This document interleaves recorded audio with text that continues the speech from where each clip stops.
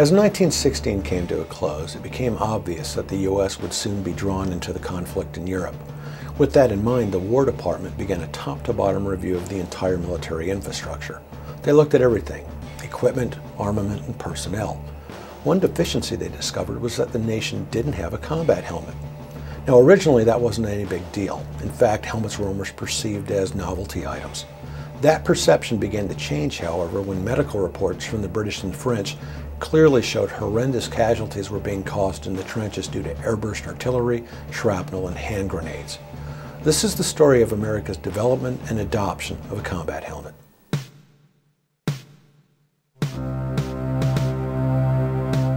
In 1917, the U.S. General Staff formed a committee to evaluate British, French, and even German helmets to assist in the design of a true American helmet. Prior to official involvement in the war, American volunteers were assisting the French Army in the Ambulance Corps. They were issued the first modern combat helmet, the Adrian, designed by French General Auguste Adrian and equipped with a distinctive American badge. General Adrian's helmet was the first helmet used by Americans in World War I. When the U.S. finally entered the conflict, those Americans serving in the Ambulance Corps were absorbed into the American military. The Adrian was a relatively thin steel helmet with a leather suspension and a leather chin strap. The helmet was evaluated for use by U.S. forces. The U.S. also evaluated the British combat helmet, which was used by the Canadians, Australians, and other Commonwealth countries. The British combat helmet, designed by John L. Brodie, was constructed of a much stronger steel and could take more punishment than the French Adrian. However, the helmet wasn't perfect, and it provided coverage only to about one third of a soldier's head. The War Department even reviewed enemy combat helmets such as the German M1916. Considered by many to be the finest helmet of the war, the Stahlhelm provided exceptional coverage to a soldier's head and was very strong. The simple design of its three leather pad suspension was surprisingly robust and comfortable. Coupled with its leather chin strap, the helmet was very stable. The lugs on the side of the helmet could also support a 1 2 inch steel brow plate, which provided even greater protection. With both the French and the British jockeying for the American military to adopt their helmet, what truly tipped the balance was a British offer to provide 400,000 helmets to the Americans immediately. The offer was accepted, and the new helmet was designated the M1917. The adoption of the helmet was considered a stopgap measure until the Army could develop its own helmet, but in the meantime, the Army went to work seeking production bids from steel manufacturers to produce the helmet. The helmet was constructed of a special mixture of steel known as Hadfield manganese. The benefits of mixing the raw steel with 12% manganese was that the mixture was easy to work with, the shape of the combat helmet could be produced with a single draw of a huge steel die. It also didn't require the time-consuming chore of annealing or heat-treating the metal. Hadfield manganese could be shaped and would remain very strong even after being pressed. Manufacturing an M1917 helmet was no simple task. The helmet's steel shell consisted of the dome-shaped steel helmet bowl, two chin strap loops, two rivets, and a steel rim. The first step in the process was securing a 20 inch by 20 inch sheet of steel into the press. Next, the shape of the helmet was pressed into the steel and inspected. The helmets were then trimmed and finally welders attached the helmet rim and chin strap loops to the underside of the helmet. Finally, a number was stamped into the underside of the steel shell. This number was referred to as the heat of the steel stamp. This was a control number which could be used to match the helmet up with a particular lot of steel in case defects or flaws were discovered. Once the helmet steel shells were completed, they were boxed up and shipped off to be painted and textured. The newly pressed helmets were placed on a conveyor system for finishing. The helmets were immersed in an olive drab paint and then proceeded to the next stage where fine sawdust was blown on the tacky helmets to provide a texture. This was designed to reduce glare. The helmets then received a second coat of paint. The helmet shells were then placed into a 200 degree oven to cure the paint. With just a few modifications, the US M1917 suspension was a copy of the British suspension. The primary components were a felt pad at the crown of the helmet, cotton twine mesh to provide some adjustment, oilcloth as a headband, and finally the leather chin strap which served as the primary frame of the suspension. The liner not only supported and distributed the weight of the helmet, but it also attempted to protect the soldier from injury if a projectile struck the helmet. Along the exterior of the suspension was a leather band of loops that ran the entire perimeter of the suspension. Rubber tubing was inserted into every other loop. This tube system kept the steel shell away from the soldier's head and provided some buffer in the event the helmet was struck by a bullet or shrapnel. The entire system was held in place by a single rivet punched through the crown of the helmet and through the leather chin strap assembly. This was the weak link in the helmet, for if the leather chin strap broke, the entire suspension could fall out. Helmets were tested by shooting selected lots with a 1911 45 caliber handgun at a range of 10 feet. If the bullet penetrated the helmet, cracked it, or caused a dent deeper than 1 and 3 16th inches, the entire lot of helmets was rejected. This helmet is typical of a rejected helmet. A hole was punched in the rear flare and a red stripe painted across the top. They could be used in a training environment, but not in an actual combat situation. During the course of World War I, American steel companies produced two and one half million M1917 combat helmets, the vast majority being pressed in Philadelphia. These saw use across the Army. They were used by the infantry, the tank corps, and artillery units. The helmet was far from perfect. It had many flaws. Its main problem was that its center of gravity was poor and it often flopped forward when a soldier assumed the firing position. A little known fact is that the M1917 wasn't the only combat helmet used by U.S. forces in World War I. Members of the 93rd Infantry Division, a unit formed of African Americans, were shipped to France and outfitted with second-hand French uniforms and equipment, including the French Adrian helmet. The 93rd later adopted the silhouette of a French Adrian helmet as their divisional insignia. The M1917 combat helmet could also be used with a chainmail face shield and protective Wilmer eye shields. These were primarily used by tank crews who were exposed to lead splash. Lead splash was small particles of metal flying off the inside of a tank as the exterior was being struck by bullets. It was late in the war when the U.S. military approved the widespread use of divisional insignias for uniforms. While occasionally an individual doughboy may have painted his unit patch on his helmet, it was absolutely the exception and not the rule. The fact is, the vast majority of unit marked helmets, camouflage painted, and souvenir helmets were painted after the war during the occupation. In fact, some enterprising U.S. units billeted outside of port cities in France set up helmet painting and battle damage businesses. A doughboy about to return to the U.S. could stop by and have his helmet personalized with depictions of battles, insignia, camouflage, and even battle damage. How, you might ask, did so many doughboys manage to keep their helmets? Well, the Secretary of War permitted each soldier to keep one complete combat uniform as their souvenir of participation in the Great War. While the German helmet may have been the finest combat helmet in the war, it was the soldiers wearing the M1917 and its Commonwealth cousins which won the day. The helmet design was truly the badge of the English-speaking soldier. It's interesting how art and history can have an impact on warfare. This is the story of a museum curator tasked with the development and creation of an American combat helmet.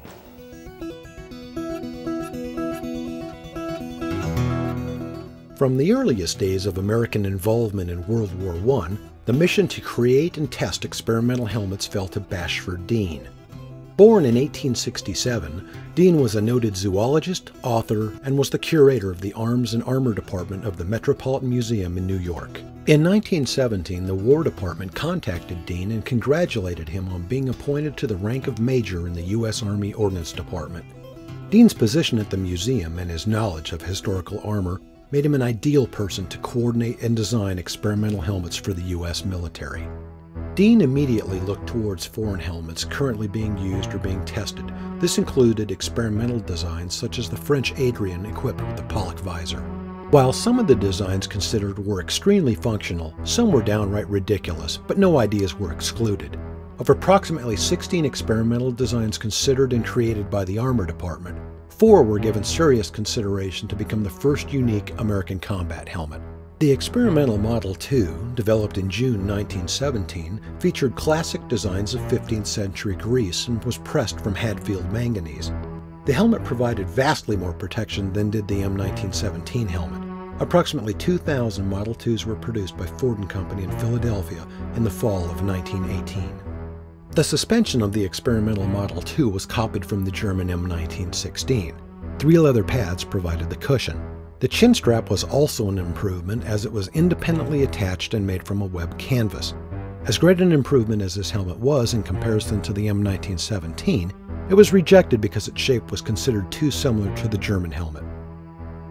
Another design greatly influenced by the German helmet was the experimental Model 5. Weighing in at 2 pounds 12 ounces, it too was deeper and provided better protection than the M1917. The Model 5 was produced by Hale and Kilburn, a company from Philadelphia. It was made from Hadfield manganese but was far more difficult to press than the M1917 as it required four draws of the steel press. Like the Model 2, the Model 5 suspension was similar to the German helmet and was constructed primarily of leather. The helmet also relied on a leather chin strap. Again, its similarities to the German helmet ultimately prevented it from being adopted. An excellent example of this is this photo showing a group of American soldiers. A close look, however, reveals what appears to be a German soldier. Actually, it's an American officer testing a Model 5. This World War I staged photo of two American soldiers, one wearing the experimental 5 and the one with the rifle wearing a German helmet, show just how similar these designs were.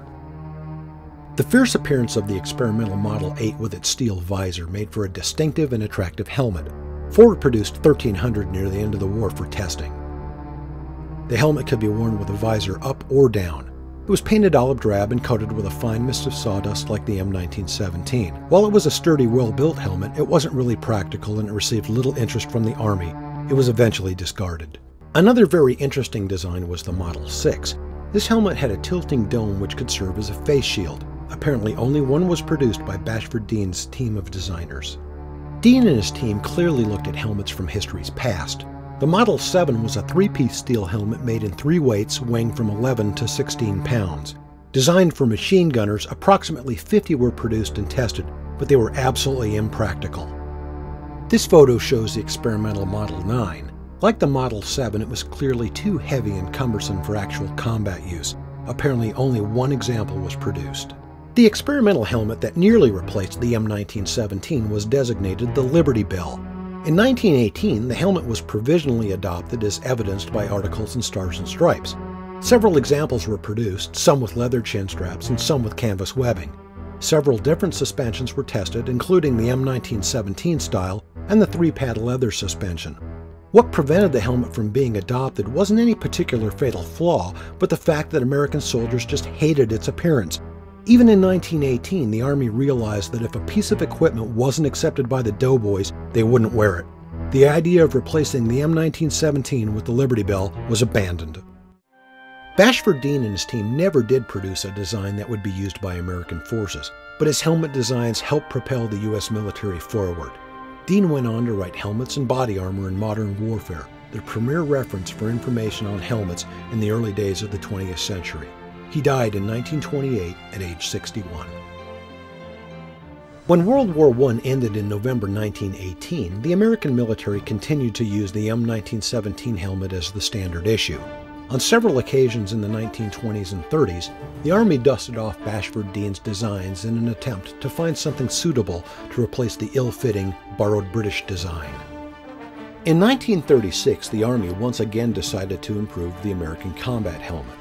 The design that had the best shot of replacing the M1917 was the experimental Model 5A, a derivative design of Bashford Dean's Model 5. This modified design was deeper than its predecessor and provided better protection to the soldier and fit much better than the M1917 thanks to an improved four-leaf leather suspension designed in the 1930s. The Model 5A featured a webbed chin strap independently fastened to the helmet shell. However, history repeated itself and the Model 5A design was declared unsuitable due to its close resemblance to the German combat helmet. So what did the Army do? It retrofitted the M1917 helmet with the four-leaf leather suspension used in the experimental Model 5, added a webbed chin strap and installed it into an M1917 helmet and called the new design the M1917A1. The M1917A1 suspension was an improvement over its predecessor. The suspension was installed with a screw at the crown of the helmet so it could be replaced or repaired if damaged. The chin straps were also sewn to the chin strap loops, which were now part of the suspension. Most of the M1917A1 helmets were simply World War I M1917s that had been upgraded. The M1917A1 was used by all members of the U.S. Armed Forces from 1936 until 1942. That's when it was replaced by the famous M1 helmet. From the moment the U.S. entered World War I in 1917, the U.S. military truly wanted a unique and distinctive American combat helmet. Many experimental and prototype designs were created, but they were all rejected for a myriad of reasons. In the 1930s, some of these experimental patterns resurfaced, but once again they were turned down. One idea that had persisted from the 1920s, however, was that of a two-part helmet, a liner system that would fit inside of a steel helmet shell. In 1940, Secretary of War Patterson made the decision not to order additional M1917A1s. This cleared the way for the development and the design of the most famous of all American helmets, the M1.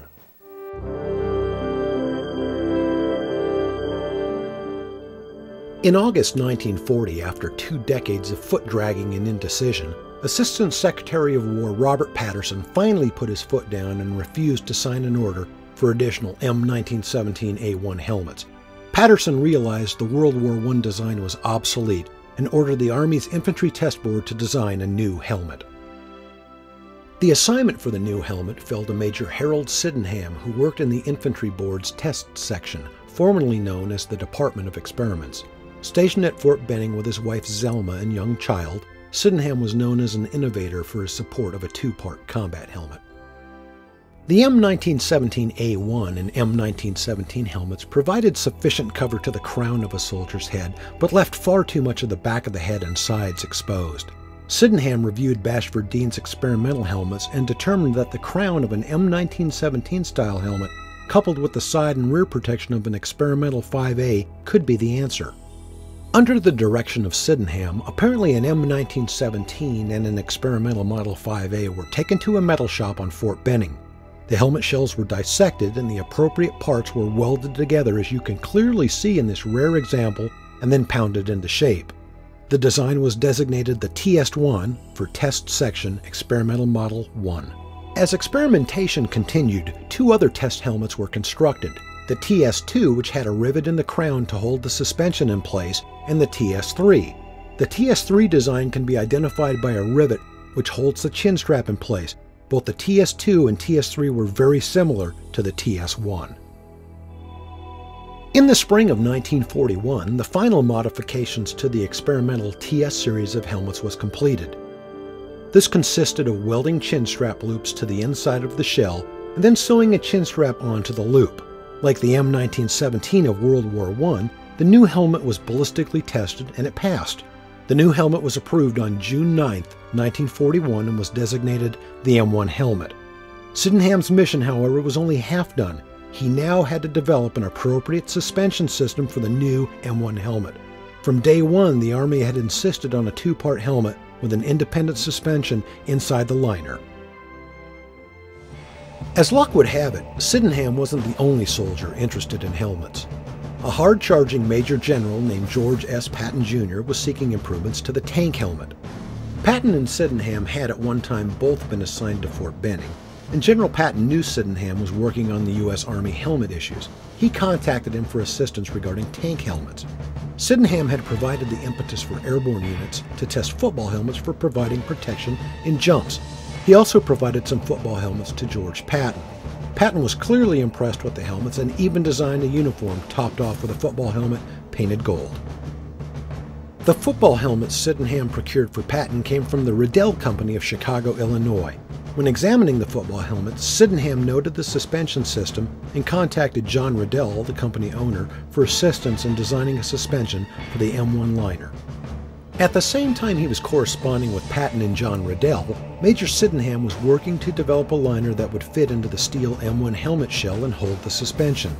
History indicates that Sydenham and his wife Zelma, while living in this house in Fort Benning, used a material called vinylite in their kitchen and created the first crude prototype M1 liner. They covered it with a cotton twill cover. The liner is now housed at the National Infantry Museum at Fort Benning, Georgia.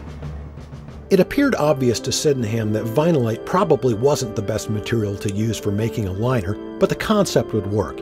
He contacted Riddell for additional help in taking the prototype to the next level. John Riddell dispatched his son Jack to Fort Benning to assist in adapting the Riddell suspension into the M1 liner. Urged by Sydenham, the U.S. Army signed a licensing agreement with Riddell to incorporate their suspension into the M1 helmet liner. In Detroit, Michigan, the McCord Radiator Company had been selected by the Army to be the manufacturer of the M1 steel helmet shell. However, they were not able to proceed until a suitable liner could be produced. In a very bold step, McCord contacted the Hawley Products Company in St. Charles, Illinois. Hawley had experience in military headgear as they were currently making tropical helmets for the Marines.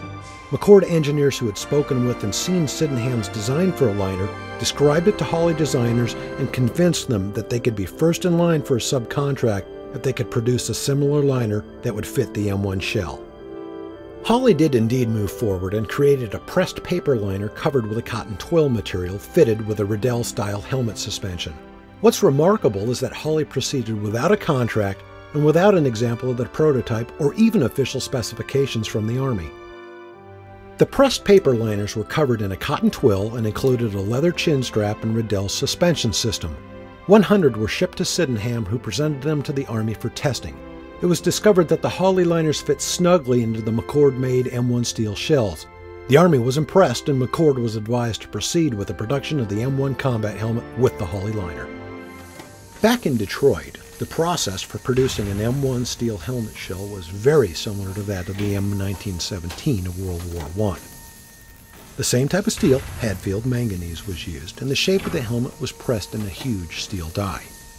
A rim was placed around the edge of the steel shell, and finally chin strap loops were welded on.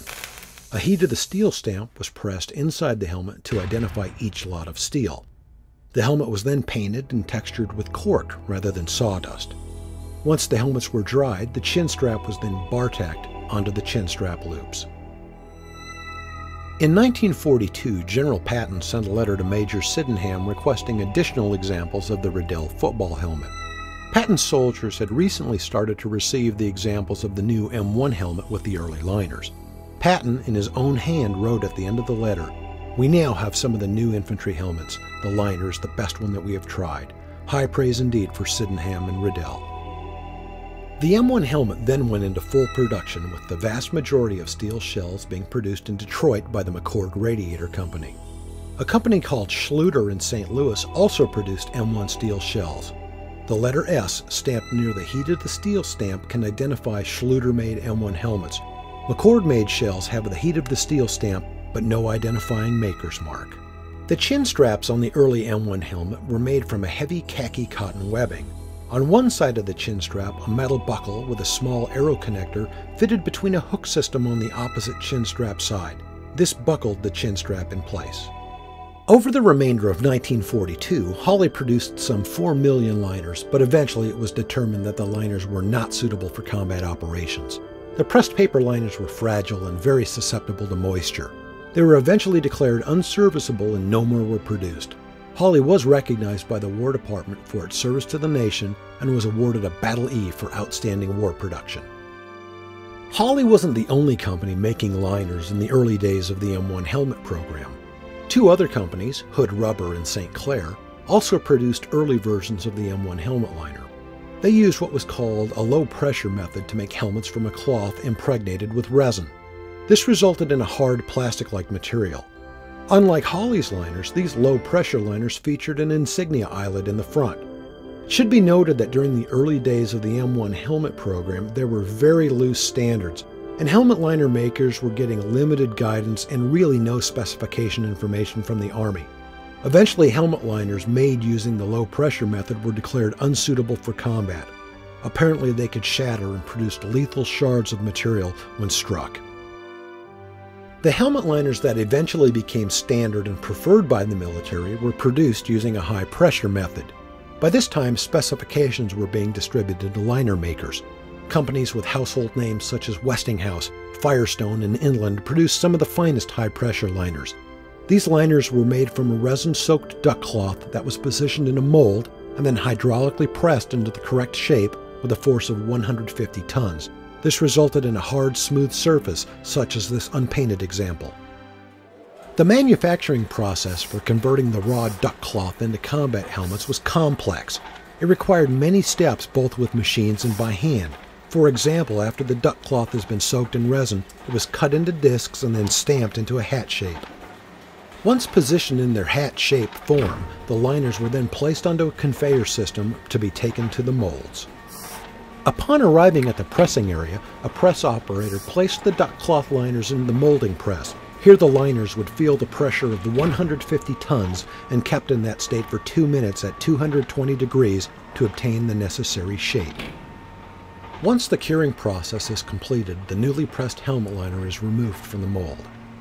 Next, the newly pressed helmet liner went to a press punch. Here an operator inserts the new liner and the machine removes the flash or the excess material from around the edges of the liner. After the flashing is removed, the liner then moves to the next step in the process. Here the raw edge of the liner was burnished to bring about a heat seal. The newly pressed liner is then positioned in a multi-drill press operation where all the rivet holes and insignia eyelets are drilled into the liner. The liner then moves to the rivet station, where the rivets and insignia eyelets and web suspension are punched into the still unpainted shell. Once the rivets are installed, the helmet is ready for its finish coat of paint, in this case, the helmet liner is sprayed by hand. Some manufacturers, however, used an automatic system where the liners were sprayed while moving on a conveyor system. The newly painted liners were then placed onto a slow-moving conveyor belt through an infrared oven. Each helmet liner was exposed to the heat for about two minutes to bake the paint onto its surface. Once the helmet completed curing, the liners were then inspected for quality control. Finally, the completed liners were packaged for domestic shipping. Complete with suspensions and chin straps, they were packed in nested stacks of five liners separated by paper. 30 liners were shipped in each box to be matched up with steel helmet shells. The Riddell suspension was riveted into each helmet liner and then held in place by washers. Early washers were rectangular and later in the war changed to an A-frame style. Originally, M1 helmet liners came with sized headbands and nape straps which snapped into the liner. This caused many problems as it required supply organizations to maintain stocks of various sizes. The earliest suspensions were made from a silver gray rayon, but eventually this material changed to a khaki herringbone twill cotton. Creative use of clips and buckles eventually permitted the development of a one-size-fits-all headband and nape strap, thus eliminating the need for stocking different sizes. With M1 helmet production in full swing, airborne divisions training with the new helmet soon discovered that when jumping from aircraft, the wind rush often pulled the M1 helmet off a parachutist's head. The standard chin strap also caused great discomfort. A request was submitted to see if modifications to the helmet could be done for the airborne. This resulted in the development of the M2 combat helmet. The M2 combat helmet had two distinct differences from the M1 helmet. First, the chin strap loops were much larger, half moon shaped, and like the M1 were welded to the inside of the helmet shell. These larger loops were to facilitate fastening the chin strap around the rear of the helmet shell to get it out of the way during jumps. The second change was the chin strap itself. The chin strap of an M2 was longer than that of the M1. It featured an additional tab or length of chin strap with a male snap fastener on the end. This tab could be snapped into a female snap inside a modified liner to keep the steel shell and liner together during the jump.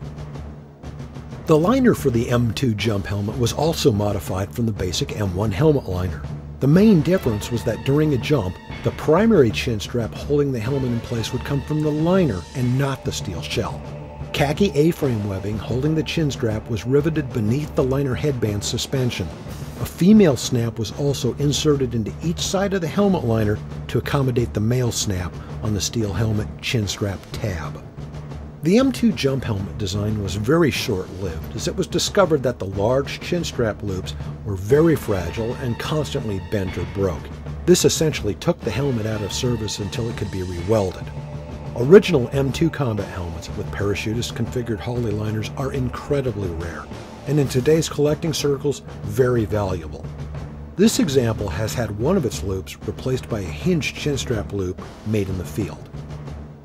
The chin strap loop problem wasn't just confined to the M2. The basic M1 used a welded chin strap loop, and these were also prone to breaking or bending.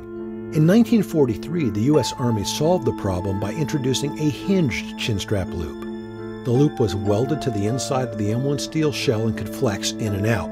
It was a great design and improvement to the combat helmet. However, the chin strap continued to be sewn to the loop. With the adoption of the hinged chin strap loop, the M2 jump helmet ceased production and was replaced by the M1C. It was essentially identical to the M2 helmet except for the new chin strap loop. It was also essentially identical to the basic infantry M1 with the exception that the M1C had the additional chin strap tab on it for connecting it to the liner. Initially, high pressure liners for airborne helmets were produced by Inland in Dayton, Ohio, but eventually the contract went to Westinghouse, who had the highest quality control. Initially, airborne liners relied on leather chin cups, but cost and ease of production prompted a change to cotton canvas near the end of the war. The M1 helmet's steel shell was painted a flat olive drab, textured with cork. Even with the cork finished, the helmet had a touch of a shine to it when it was wet. That's clearly something undesirable for combat troops. Soldiers and Marines used a variety of netting to break up the glare and provide a method to insert twigs, leaves, and other natural camouflage. The Type 1 net, as seen on this helmet, was a U.S. Army issue item and was held in place by a neoprene band sewn to the net. When U.S. forces arrived in England, many soldiers acquired nets from British and Canadian soldiers, such as this Type 2 net provided by the Canadian Army. Almost any type of netting was used by soldiers, such as this type, used primarily for camouflaging vehicles and buildings. Occasionally, U.S. soldiers, usually parachute troops, would use a piece of camouflage parachute silk for a helmet cover, but camouflage covers were not widely used in the European theater of operations. The Army did experiment with camouflage helmet covers, however, the pattern was considered too similar to that of the German Waffen SS, the Army decided against introducing the covers to combat forces for fear of confusion with the German soldiers. This, however, was not the case in the Pacific Theater, where the U.S. Marine Corps issued camouflage covers to the vast majority of its troops. The original Type 1 Marine helmet cover was reversible, with a brown side and a green side, and they were made from a herringbone twill cotton. There were no foliage slits. The second pattern of U.S. Marine Corps helmet cover was identical, except that it had 16 foliage slits in rows of two around the perimeter of the cover. The final variant of the U.S. Marine Corps World War II camouflage cover, the Type 3, featured foliage slits at the top of the cover, but there was also a slit in each of the leaves. Exactly what these slits in the leaves were for isn't clear. In each case, the cover slipped over to the steel shell of the helmet, the leaves were tucked in between the shell and the liner. The U.S. Marine Corps Eagle, Globe, and Anchor insignia was not normally used on the cover. Another camouflage cover used by Marines was a thin camouflage cover that incorporated an insect net. This is often incorrectly described as a sniper's cover, but the reality is that the cover was truly to provide some relief to the masses of insects which inhabited the jungles of the Pacific. These insect nets came in camouflage, OD, and khaki. In late 1942, the Westinghouse Company produced 800,000 factory camouflage painted M1 helmet liners. In the Pacific Theater, it was very common for soldiers and Marines to wear just the liner without the steel shell. The camouflage liners were painted using a stencil. This example was worn by a Marine named Jankowski. In pencil, he wrote the names of all the places he served and was very fortunate to survive when his helmet liner was struck by a Japanese bullet. The bullet went through the liner just above his scalp. In 1943, the Quartermaster Corps discontinued the camouflage liner program, and 300,000 camel painted liners were repainted olive drab. Surviving examples of these factory camel liners are extremely valuable and quite rare indeed. Unlike World War I, during World War II there were a myriad of specialty painted helmets such as military police and unit marked M1 combat helmets. Obviously, they were used to identify specific functions or skills, this helmet, marked in the divisional insignia of the 42nd or Rainbow Division, is an excellent example of a unit marked helmet. The helmet features the divisional patch on the side and the soldier's rank, in this case, a first lieutenant on the front. The vertical bar in the rear of the helmet is a tactical marking. It indicates that the person wearing the helmet is an officer. This was so that when troops were moving, they could identify the officer from behind. Another U.S. division famous for wearing its divisional insignia on the helmet was the 3rd Infantry Division. This welded chin strap looped helmet is equipped with an early Hawley fiber liner. The U.S. 1st Division was another unit recognized for not only wearing the big red one on their helmets, but for also landing at Normandy on D-Day. While tank crewmen had specialized tanker's helmet, the M1 helmet was the primary battle helmet for troops assigned to armor. This M1 features the distinctive insignia of the Tank Destroyer Corps. With its bright and obvious Geneva Cross design, U.S. combat medics in Europe were clearly identified. There were very loose standards for how medics were to mark their helmets. This means many different styles and designs can be found. The U.S. 101st Airborne Division, the Screaming Eagles, also relied on tactical helmet markings within its organization. Using geometric patterns such as circles, triangles, squares, plus hearts, diamonds, spades, and clovers as found in a deck of cards, they developed a simple yet very effective method to identify regiments, battalions, and even companies within the division. While most U.S. combat helmets went to ground forces, the U.S. Navy and Coast Guard also made use of the M1 helmet. When issued to Navy units, the M1 was in its factory olive drab, but many were repainted either gray or dark blue. This Navy M1 sports a gloss gray finish and is marked to a Navy signalman. Adding artwork to a helmet wasn't simply the domain of the Army. This wonderful example of a U.S. Navy painted helmet was worn by Henry Raphael, a Coast Guard photographer who wore the helmet throughout his service in the war.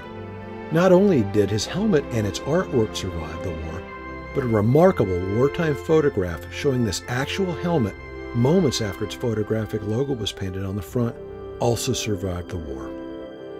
In addition to the M1 helmet, U.S. Navy forces also used a specialty helmet, the Mark II Talker helmet. This oversized helmet was used by gunners and communication specialists aboard naval vessels. The helmet had a built-in suspension and was large to accommodate headphones and communications gear. The Mark II Talker continued to serve with U.S. naval forces into the 1990s. The M1 helmet proved its value. Post-war estimates indicate that some 35,000 American soldiers would have been killed were it not for its protective qualities. The helmet was worn by every branch of service, from trainee privates to high-ranking general officers. From its lineage back to Riddell's football helmet suspension to its experimental TS3 days, the M1 helmet held up to the challenges of combat and set the standard for combat helmets of its day. Harold G. Sydenham's M1 helmet would continue to endure and protect American and Allied soldiers for decades to come. With its proven World War II track record, the U.S. M1 helmet continued to serve in various configurations with the U.S. military in both the Korean conflict and the Vietnam War. In fact, the U.S. M1 had a 40-year span of service.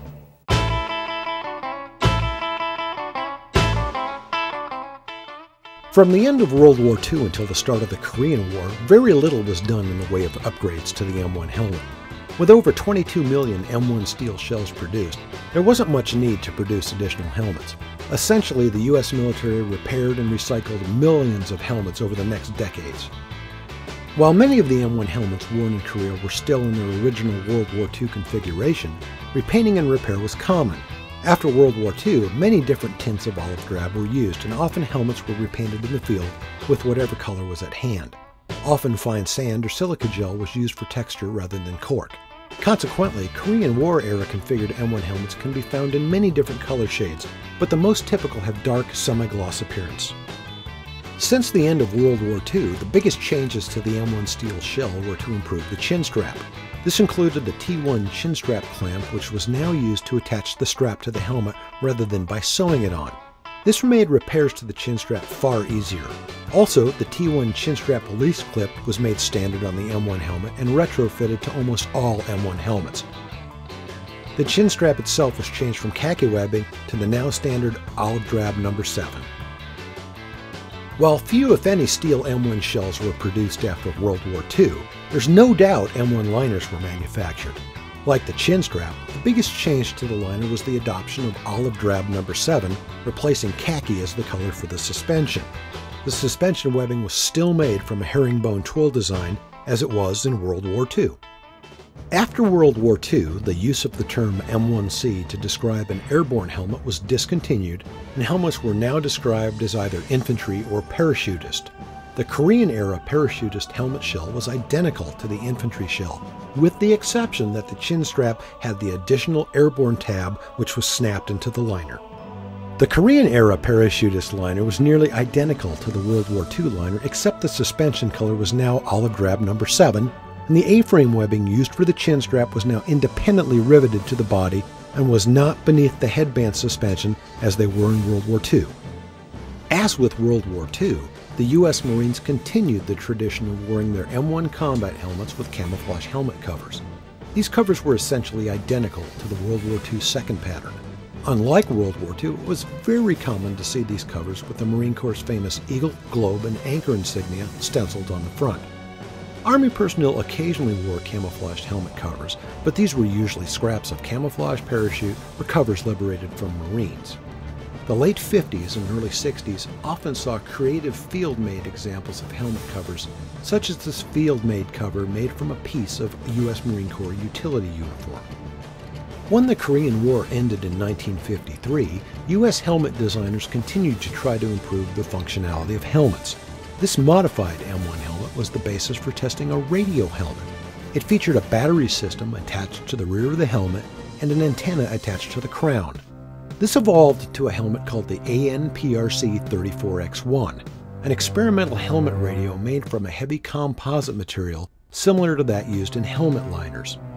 The helmet used a parachutist-style chin strap assembly with a battery and a two-way radio system installed inside the helmet.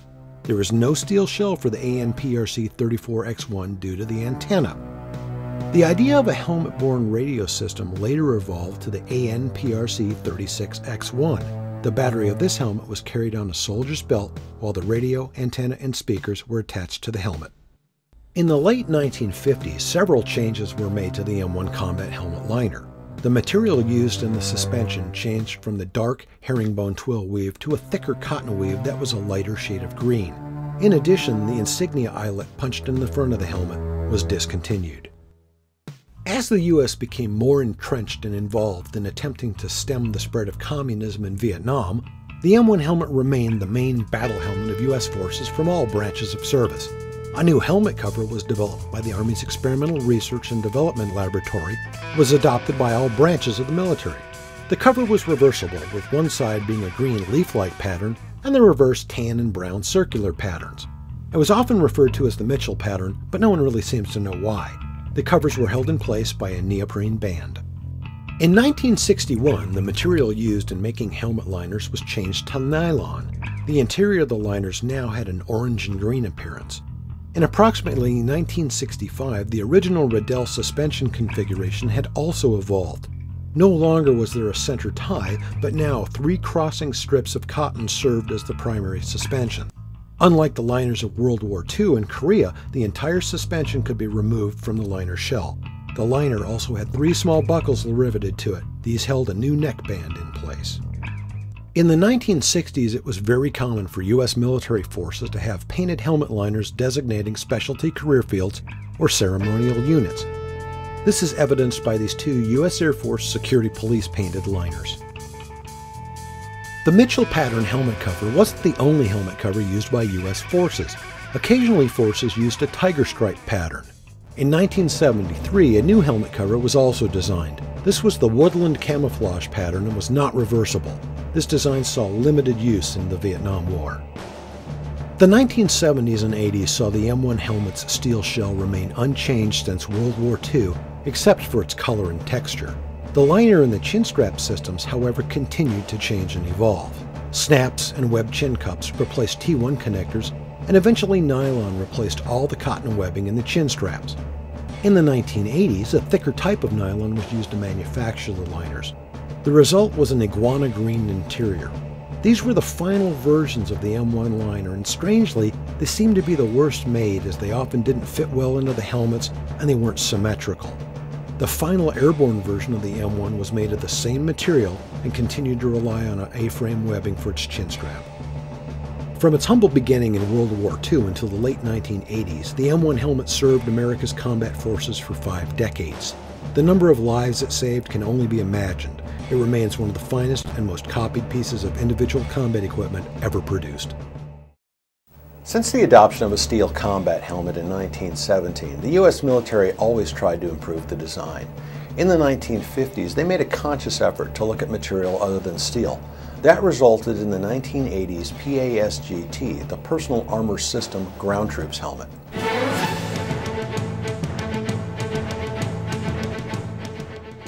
Even before the end of World War II, the U.S. military started working on ways to improve the combat helmet.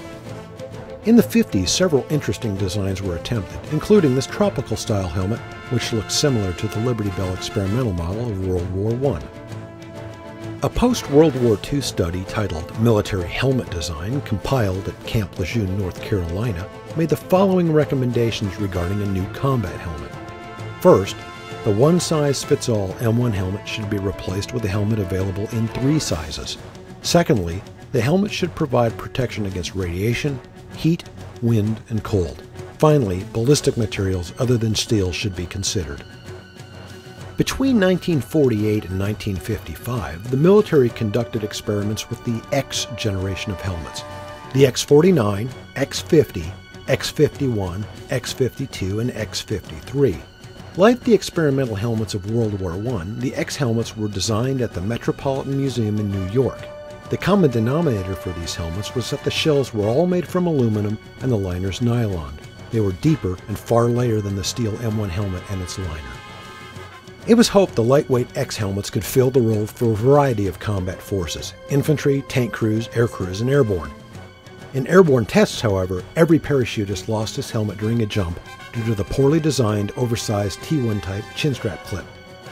The helmet was far from ballistic with its aluminum shell and while it was made in several sizes with various test configurations, none of the X helmets were adopted. There were also attempts to maintain the basic shape of the M1 helmet but to use different materials. In the late 1960s, several M1 style helmets were produced from titanium. These helmets had no rim as the steel M1 helmets did and were slightly lighter. In a head-to-head test with steel helmets, the titanium helmets proved to be far stronger than their steel counterparts. Several liner versions were tested, including a Wilson Davis designed suspension that relied on leather, plastic, and Velcro. Another version of the titanium M1 style helmet had the suspension secured directly inside the titanium shell. This resulted in a smaller profile and a lighter helmet. Approximately 1,000 titanium helmets plus an unknown amount of M1 helmets made completely from nylon were produced, but none apparently entered active service. Managing the testing of various types of materials for the new helmet program, now called the Personal Armor System Ground Troop, or PASGT, sometimes called the PASKET, fell to project officers Larry McManus and Phil Durand, who worked at Natick. They coordinated the development and testing of new helmets constructed of ballistic materials and Kevlar.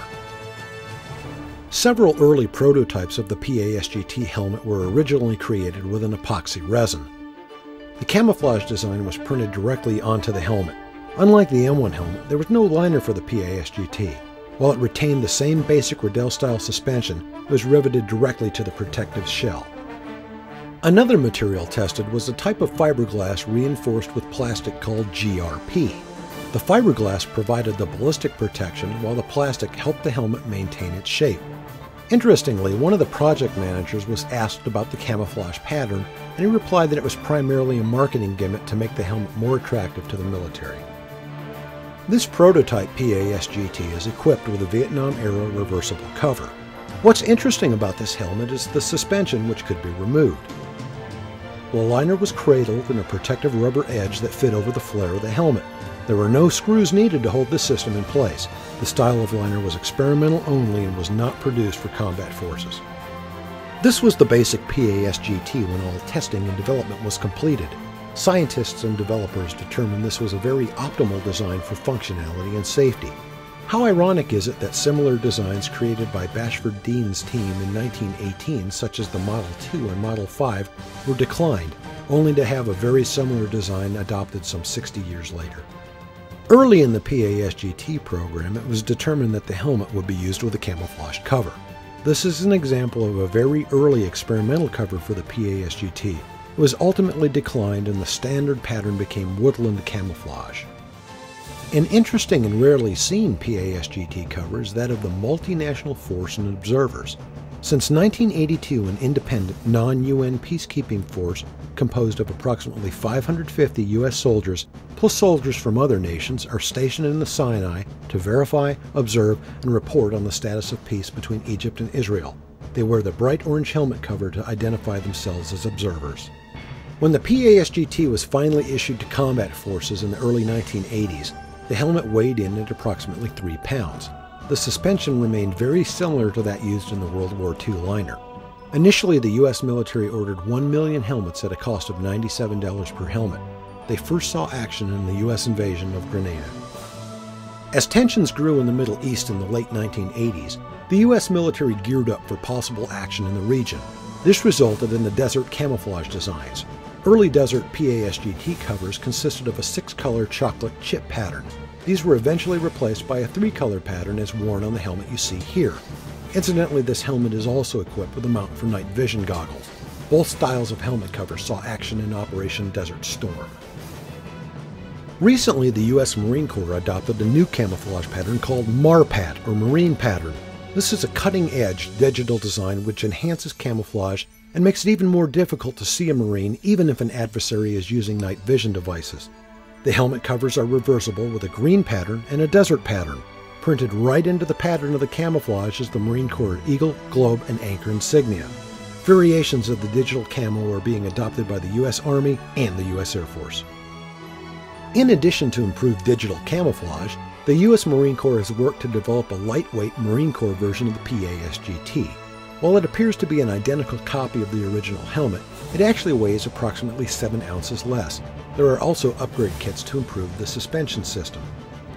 In the early 21st century, the U.S. military unveiled its newest combat helmet, the MICH, or Modular Integrated Communications Helmet that provides ballistic and impact protection. The helmet can be used with the newest night vision equipment, nuclear, biological, and chemical gear, communication packages, and body armor.